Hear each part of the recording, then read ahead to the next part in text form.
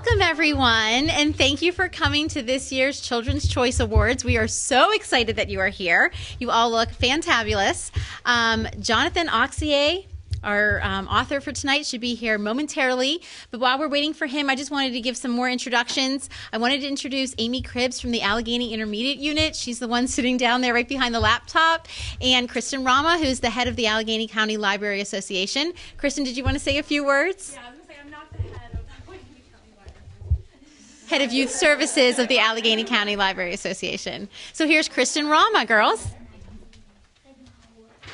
All right. Well, hi everyone. Thanks for coming tonight. We're really excited. How many of you read all of the Children's Choice Award books this year? Anyone?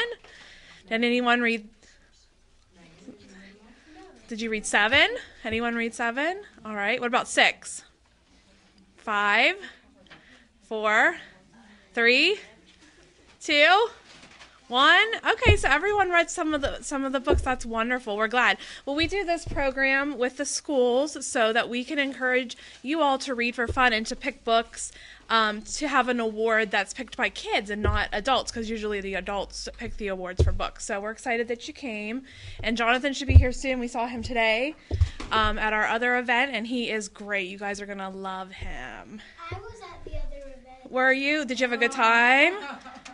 It was awesome today, huh? It was really awesome. So you're gonna like him. He should be here soon. And I'll turn it back over to Elaine. Thank you, Kristen. Uh-huh. Amy, did you want to come up and just give a little history of how this all got started? Because we've been doing this for quite a while. It actually started off as the Reading Festival, if I'm correct, over 10 years ago. And then just recently, um, we you know came up with the Children's Choice Awards idea. So I'm going to let Ms. Cribbs talk a little bit about how it got started way back when. Right. So this is actually our fourth year doing Children's Choice Awards. How many of you have um, done Children's Choice Awards before, where you've read the books? And oh, good, a couple of you. That's great. So before that, we had a reading festival where we'd pick four books, and they would all be a certain theme. So our last one was about sports. And now we have Children's Choice Awards, where we thought it'd be really fun to let you guys pick your favorite book, and then we can find out um, really what everybody's reading out there, and so we can, we can find out some cool books to read too. Um, so we're really glad you're here. I work for the Allegheny Intermediate Unit, so we work with all of your teachers in your school, um, and then I also do other programs like this with kids all across the county, like Science Bowl and History Bowl, and computer fairs. Anybody ever do any of those? Science Bowl or History Bowl, or STEM Design Challenge? You've done a couple. Awesome, good. So I've seen you there. Great. All right, well, we're really excited to have Jonathan here, and then we're going to do a battle of the books. So I know you came today, huh? So you already know. What's that? I did that. You did Battle of the Books too. Great. So I have some questions for Battle of the Books and some really, really great prizes for the winning teams. So I hope you have a good time tonight. Thank you. Pass it over to Lynn. And the way we'll do the battle, guys, just so you know, we're going to do it right here in this room, and we're kind of just going to divide into groups as you're sitting. And so we'll try to do teams of four. Um, so while we're waiting, I guess we can kind of do that. Um, how many teams do you think, Kristen, should we have? Four? Let's try to do package deal.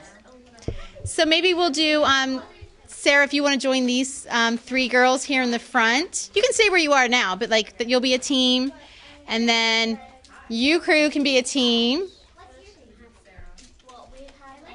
Well, kind of guys, See where you are on your side of the room, and then I'm gonna make it you four, and then you three. But Robert will be on your team, so it'll actually be teams of four. So that'll be perfect. All right, so I'm going to ask you just to sit tight for just a moment. I'm going to go out and see if Jonathan is here. Um, and just thank you all again for coming because it really is an accomplishment. Give yourselves a round of applause. So, first off, does anybody want to come up and share tonight's prediction, who they think the two, CCA 2014 winner is going to be? If you were at the event in Oakland, this was already announced, so please don't spoil it. You keep your hands down. Anybody else who um, is here tonight for the first time, does anybody have a prediction? Come on up, Caitlin. What do you think? Who do you think the winning book is going to be? What do you think the winning book is going to be? I'm going to ask you to come around here and stand. What do you think? I think it's going to be Escape from Mr. Lemoncello's Library. Lemoncello was a popular one indeed. Can you tell me why? What made you? Is that the book you voted for? Mm-hmm. And what made you love that book so much? Because it's good and I like scavenger hunts. She likes scavenger hunts, don't we all? Very good. Well, thank you for sharing. Does anybody else have a different pick? You think somebody else is going to win? Something, some another book. Why do I keep saying somebody? It's not a who, is it? All right, come on up. Tell us. I love your dress, by the way. You're looking fantabulous. I think- Who do you think's going to win? I think Florid Ulysses. Flora and Ulysses by Kate DiCamillo. And why did you like that one? Because I think it was a really funny and good book. What made it funny? The squirrel with superpowers? Yes. Yeah, that is pretty silly and pretty funny. Great. Okay, time will tell. Okay. Thank you very much. Uh, anybody else have a different pick for tonight's winner? Yes, come on. What's your name? Oh yeah, I I Oh. don't want to the book. It's a really, it's a really good book so far. Turn around and tell us. Which one is it? Rump. It is a good one. That was a hard choice for me. I loved Lemoncello and I loved Rump. I'm glad you're reading that. You were here as a guest tonight. You're not even a fourth grader yet. So you're only in first. So kudos to you to, for reading those. That's great. My dad me. Awesome. I love it. All right. And you had your hand up too in the back. Young man in the blue and gray striped shirt. Come on up and tell us who you think's going to win. What book you think's going to win. Which one do you like?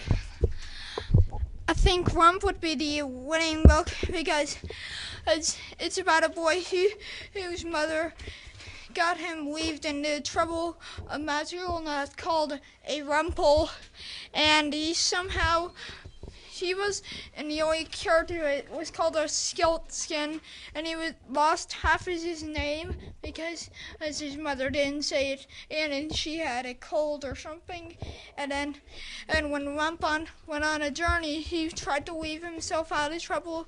He had this thing that can weave he was drawing uh, gold and of course when he weaved himself out of trouble he found his real name was Rumpelstiltskin and guess what it turned out he was a Siltskin, so I think that is the winning award. Awesome. Can you tell us what um, school you're from and what grade you're in? Alright, I'm from South Allegheny Elementary School, fourth grade. Awesome. We're so glad you came to Bethel Park tonight. Thank you for being here. Great. All right, you can take your seats. All right, different question. I want you to think about the books that you did read. and I want you to think about the characters in those books. Did you have a favorite character, or was there a character who you really like related to? Someone who spoke to you, or someone who's just like super funny and you just really loved this character? Tell us who it was. Come on up. Can you start with your name and your school too, please? Megan, my name is Megan, and my school is Brooks Elementary. Okay. And what character did you like the best? Ulysses because he because he because he was really funny and what and and he and uh, and he could fly. Yeah, he could do all sorts of different things, couldn't he? Very good. Okay, that was a pretty awesome character. You gotta love Kate DiCamillo. She's a wonderful author. Have you read any of her other books? Raise your hand if you know because of Winn Dixie or The Tale of Despereaux. Great books from a great author. Good. Okay, does anybody else have a favorite character that they want to share?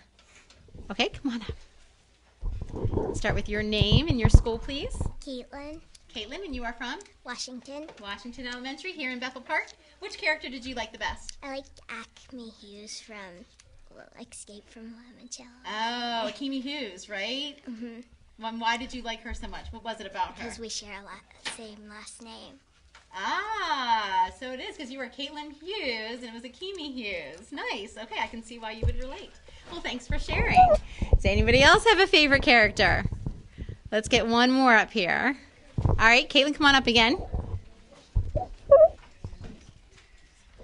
Two Caitlins in the house tonight. My name is Caitlin Cross, and I'm from St. Elizabeth Elementary. Okay, and which character did you like best? I like Sierra Russell because he reads a lot, read, reads a lot like me. Yes, you are a speed reader and you love books. What is your favorite book of all time? I would say Mr. Lemoncello's Library. Really? Great. All right. Have a seat. Thank you very much, Caitlin. Uh, let's see. What else do we want to know? What else are we curious about? Can you, someone come up here and tell me what your favorite aspect of Children's Choice was? Because really, guys, this is a long journey. Some of you started reading these books way back in October. And here we are in May, right? So this was a long process. It was a journey for you guys. Can you tell me what your favorite part about the process was? And it's probably tonight's big event. right? That's probably your favorite. But what else did you enjoy about the Children's Choice Awards? Come on up and share. My favorite part about the Children's Choice Awards was reading, of course. Reading, of course. That's a great answer. Thank you. All right. Who else would like to come up and tell us what they love about Children's Choice? Come on up. I'm going to ask you to share your name and your school. Make sure you're facing the camera. I'm Katie Cottrill, and I'm from Lincoln Elementary School. My favorite part was reading all the books and getting introduced to all the new authors. Wonderful. So you maybe discovered an author that you weren't aware of before, such as. And if you don't, just tell me the book, and I'll. Like the author of Mr. Lemoncello's Library. Chris Grabenstein. So you didn't know of him before. No, Excellent. And what about our guest tonight, who um, hopefully will be here soon, Jonathan Auxier? Are you familiar with his book? no, I'm not. Okay, so you'll get to actually meet a, a- an author in person tonight, then, which will be even great because we'll introduce you to some more books that you might enjoy. These uh, you know, books that might make a great summer read for you guys this summer. All right, thank you so much. Sadie, come on up. Favorite part of Children's Choice Awards? What do you love about it? I love that we get to actually vote because usually it's just the adults that vote and not never the kids. Great answer, Sadie. Thank you for bringing up that point. That's right, because when you choose a Newbery or a Caldecott, that has a panel of um, adults, doesn't it? Um, adults who choose, and they get to pick. And this is one of the only awards that allow you kids to have a say. You guys voted, you guys got to decide. So, great answer. All right. Do you want to do the battle? How about we do this? Oh, uh, Miss Beth? Is it is it pulled up? Was it minimized on the screen? Maybe we're going to show. How about if we show a couple trailers in case, because I know only a handful of you read all of the books. So I want to show you the trailers for some of the other books, so maybe you'll want to read them over this summer. So we'll show a couple of the video trailers, then we'll get to hear from our author, and then we'll proceed on with the big battle. Okay?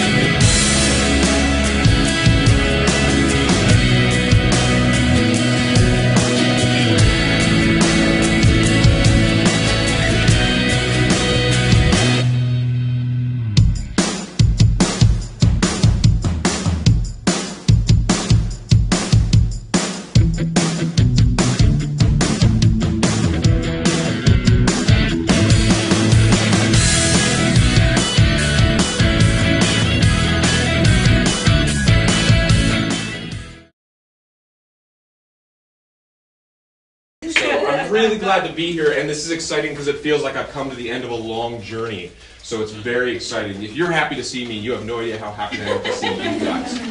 I also happen to notice that you're dressed a little more nicely than the kids I talked to early today. That's pretty awesome. You guys are really fancy and decked out. This is very, very cool. Um, so hi, my name is Jonathan, and, uh, and I'm the author of two books. The first one is called Peter Nimble and His Fantastic Eyes. Now, this is the story of a small, blind orphan who also happens to be the greatest thief who ever lived. So he can smell gold inside a rich man's pocket. He can hear a guard's heartbeat around the corner. His touch is so sensitive, he can slip his fingers into keyholes and open any lock. Now we're going to talk, I'll talk with you a little bit about this book. Um, and I also want to tell you a little bit about my brand new book, which I'm super excited about. Um, it's not even in stores yet, actually, so I'm very excited. This is an early advance copy. It's called The Night Gardener. Does anyone here like scary stories? This is a very scary story. It's the tale of two abandoned kids, a girl named Molly and her little brother named Kip, who find themselves working in this creepy, mysterious house that is not quite what it seems. And maybe I'll tell you guys about this a little bit later, um, because really I want to get to maybe something fun. We're going to do the announcements, which I'm very excited. How many of you guys read? There were eight books. How many of you guys read one of the books? Two of the books. Three of the books. Four, five, six, seven, eight. No. No one read eight? Okay, that's excessive. Seven, you did seven? Nice. Who, who read seven? Who read seven of the books? Stand up. These two are our super readers. Let's give them a round of applause. You guys are amazing. Okay, sit back down. Okay. So I know you guys are excited to figure out which book won, and I know which book won, but I'm not going to tell you, and I think you know because you were at the event this, this afternoon, so no spoilers. Um, and I should say, has anyone? Okay, so I guess um, has anyone read Peter Nimble? No, you have. Have you read the whole thing? Yep. Awesome. Okay. Well, um, what I'm going to do, you know about this already, but what I'm going to do is I'm going to clue these guys in, into a little bit about the world and characters of Peter Nimble. And the way I like to do this is actually to um, dust off something. You know, I'm an author, obviously, so my job is basically I'm a professional daydreamer. But one of the best parts about having published a book is that it lets me kind of get out into the real world and hang out with readers like you guys. And I love visiting um, the students and going to schools and libraries. I actually, almost every job I've ever held has involved working with schools. So before I was a writer, I used to um, be a, a, reading coach, and I would go around to schools and I would work with people who struggled with reading. And before that, I was a comedy improv instructor, and I would work with high school drama classes teaching comedy improv. And before that, I was a debate coach, and I'd go around to schools and teach debate and public speaking. And before that, my very first job I ever had, I was 16 years old, and I used to go around to schools with one of these. Now, how many of you guys have a yo-yo? Anyone? Okay, very cool. I like to see a lot of hands because yo-yos are one of my favorite things. And I actually practiced yo-yos so much when I was growing up that I became a professional. So my very first job, I actually got paid to just basically go around to schools all over the province where I lived, and I would teach kids yo-yo tricks, and sometimes they would teach me stuff, and it was a super fun way. It was way better than like babysitting or mowing lawns for money. I'll tell you that. Can you Um, teach me? What'd you say? Can you teach me? I can teach anyone yo-yo tricks. Um, you need a yo-yo, but that's if we if we can get you a yo-yo, I can teach you some stuff. Um, so having a yo-yo in my hand is really makes me feel very comfortable. And when I started publishing books, and I knew I was going to be visiting schools, I thought, wouldn't it be cool if I could go out in and with these uh, with these books actually dust off my yo-yo and use it as sort of a visual aid to talk a little bit about my stories. So that's what I'm going to do right now. Do you guys want to see this? I'm going to use this yo-yo to tell you about Peter Nimble. What is, are you sure? You don't sound very sure. Or do you want to see me use it? Okay. There we go. All right. If you can tell, I've been talking to a lot of people today, so my voice is getting a little creaky. I'm probably going to start drinking all this. Is this my water? No. No, but I'm going to get you a Okay. bottle. Um, all right.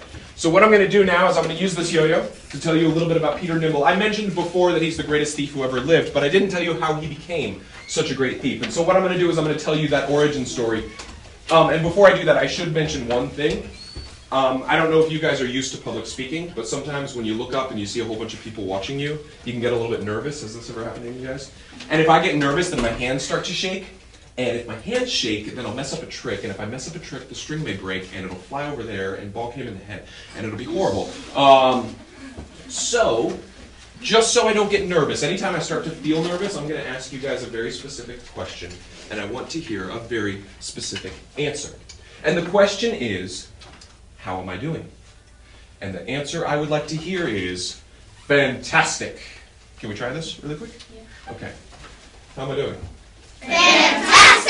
Excellent. I like that. You were very sharp at the end. I do. I, I know you guys. We're in a library, and so usually you're not allowed to yell. But I think. Do we have special permission to make a little bit more noise? Okay. So this time, this one and only time, I'm going to ask you again, and I want you to take that volume, which was good, and I want you to double it. In fact, I want you to set off the fire alarm so the police downstairs come back around and are like, "What's going on in here?" Okay. That's how loud I want you to be. Are you ready?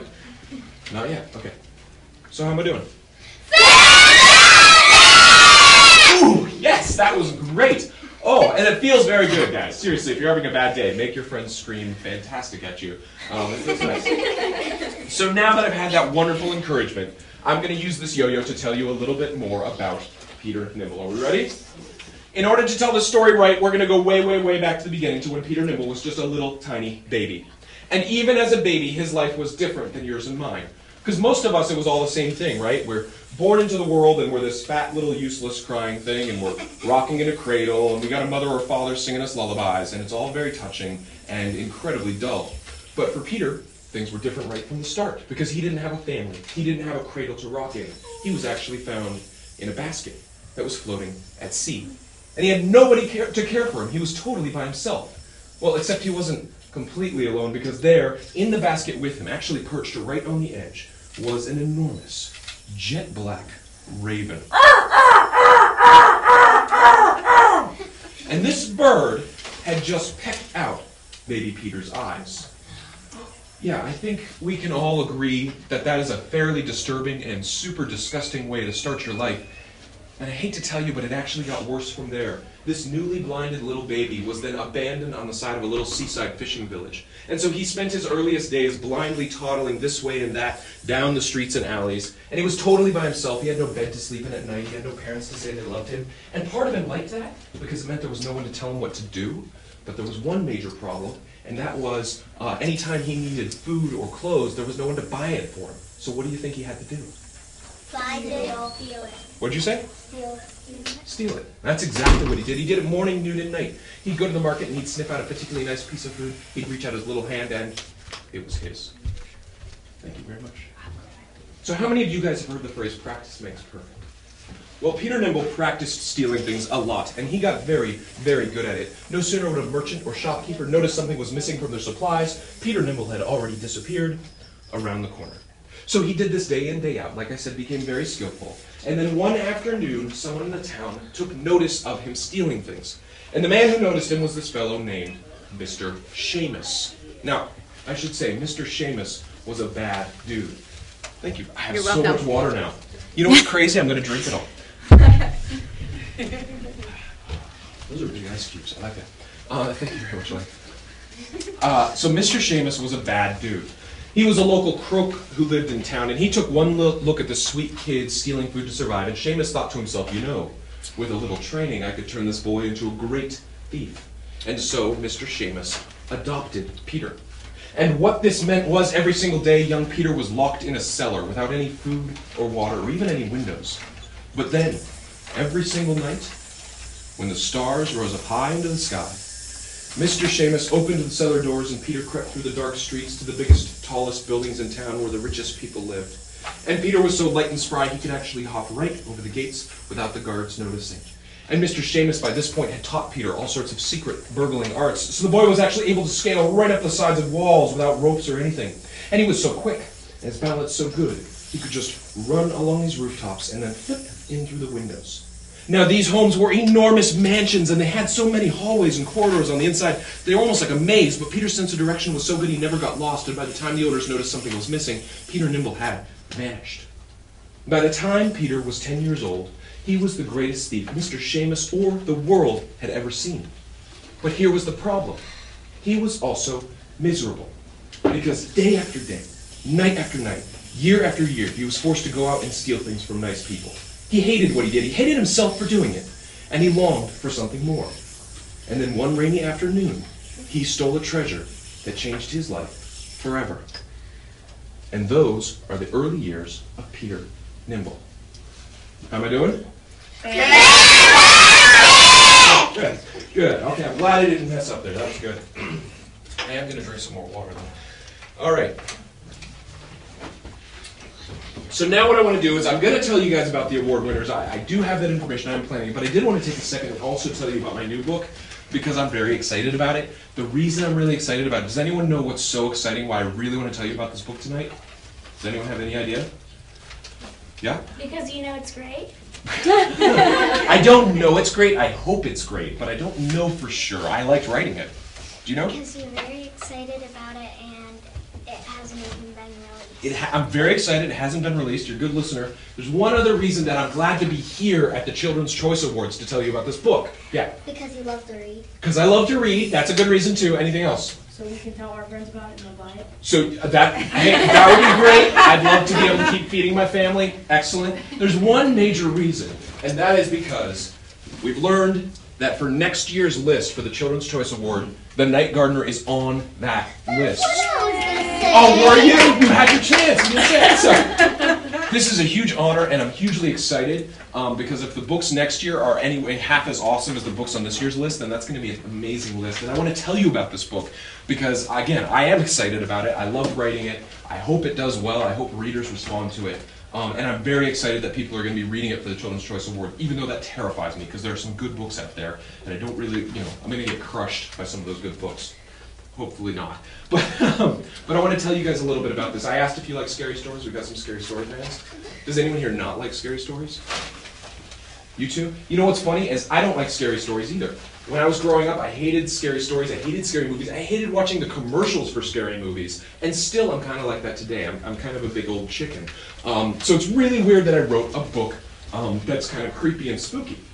Now, let me tell you a little bit about this. So, The Night Gardener is the story of these two children, Molly and Kip, who, like I said, end up taking jobs at this uh, creepy old mansion in the bottom of a remote valley in a place called the Sour Woods. Um, and they have no place to turn. They've got no family, no money, so they need some way to survive. And so, getting to work at this house is a really good thing for them, even though to people like us and readers like us, we're like, ah, maybe don't go to a big scary house in the middle of nowhere, because that's where scary things happen. And as soon as they get there, Molly and Kip, they realize that things aren't quite. This story takes place about 150 years ago, so this is imagine the olden days. And they're in this isolated house. They don't have cell phones or the internet or anything like that. Um, and so they're kind of stuck here. And they notice that there's some weird things about this house. Now, the first strange thing about this house is that the family that they're working for, the girl, Molly, she's 14 and she's working as a, as a maid, and her little brother Kip is 10. He's going to be the groundskeeper. And the family that they're working for is very, a little bit odd. Um, they're, they're this wealthy English family, and they are um, incredibly pale and almost sickly looking, and they seem to be getting more and more sick every single day. And weirder than that is the house, because this giant mansion is actually uh, built right up against a huge gnarled tree. I can show you a picture of it, in fact. Um, this enormous gnarled tree whose branches are pushing right through the walls, and the roots are growing straight up through the floor. And it almost feels like one day this tree could just lean over and swallow the house whole. And the weirdest thing of all is that every single night, at the stroke of midnight, Molly wakes up and hears a sound overhead of wind howling through the house. Even though the doors and windows are closed, she can hear this wind moving, howling and wheezing between the cracks and the jams. And then all of a sudden, with that sound, she hears something else. The slow, steady thumping of footsteps. And she can hear someone moving from room to room to room. And she can't see who they are, obviously, but she knows from the creeping of her skin and the twisting in her gut, she knows that whoever is up there is definitely not human. So this is the mystery at the core of the Night Gardener, and Molly and her brother Kip have to figure out what's going on. And I should say, like I said, I, am not a big fan of scary stories. And if that were happening to me, if I woke up and heard strange footsteps going from room to room to room upstairs, I'm going to be honest with you, I would have peed my pants. Um, and it, gets grosser because after I pee my pants, I'd be too afraid to get out of bed and change the sheets. So I'd probably just pull the blanket over me and then start breathing pee air and praying that the monsters go away. Um, because I don't like being scared. But for me, when I wrote this book, I wanted to try something different. What I wanted to do was write about a character who was different than me, someone who was a little braver. And so this girl, Molly, actually, she was raised differently. She's the sort of person who, if she thinks there's a, a monster under her bed, she's going to get down on her hands and knees and double check. And if there really is a monster there, she'll bring them a saucer of warm milk and a blanket and a pillow, and they'll have a conversation. Because the thing that Molly loves more than anything in the world is stories. Her imagination is always going and she's always longing to see magic things in the world. You know, she's always thinking, what if I walked through that door and I saw the lamppost and Mr. Tumnus in the middle of Narnia? What would that feel like? And she feels that way about everything, and the thing that she wants more than anything in the world is to see something that actually is magic. But in this story, this brave kid who longs to see something impossible finally does encounter something truly magical. But instead of being a dream come true, it's her worst nightmare. So that is The Night Gardener. You guys are going to be maybe reading it next year. I did want to tell you a little bit about it. But now I want to get on to the main course. The reason we are all here, we need to warm up the projector or open the hatch or do whatever we need to do. I'm very excited about this. Do we have the whole stack of books? No, we don't. Okay.